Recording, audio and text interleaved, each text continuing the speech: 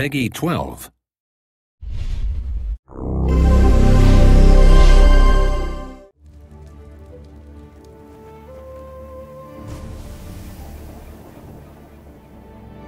Hello, and welcome to the Korea Civilization DLC pack for Sid Meier's Civilization 5. In this walkthrough, we'll show you this new civilization and give you a look at a custom scenario, the Samurai Invasion of Korea. Meet Sejong the Great, King of Korea. In Civilization 5, each civilization has a special ability, and Korea's ability is called Scholars of the Jade Hall. The Korean civilization gets extra science for all specialists and for all great person tile improvements. The Koreans also receive a tech boost each time a scientific building or wonder is built in their capital. With this ability, you'll be consistently rewarded with technology throughout the game, quickly outpacing your less clever rivals. A technologically sophisticated civ like Korea deserves some advanced weapons, like this Hwacha. This is more powerful than the trebuchet it replaces, and there's nothing quite as fun as besieging cities and scattering enemies with rockets, while your enemies are merely slinging rocks.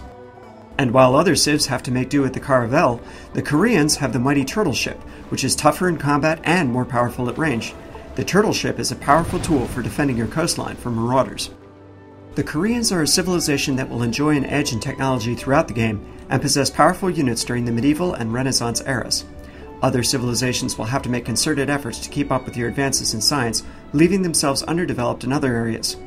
If you're the kind of player who loves the science victory, then Korea is the civ you'll want to play. We've also created a special scenario for this pack, the Samurai Invasion of Korea.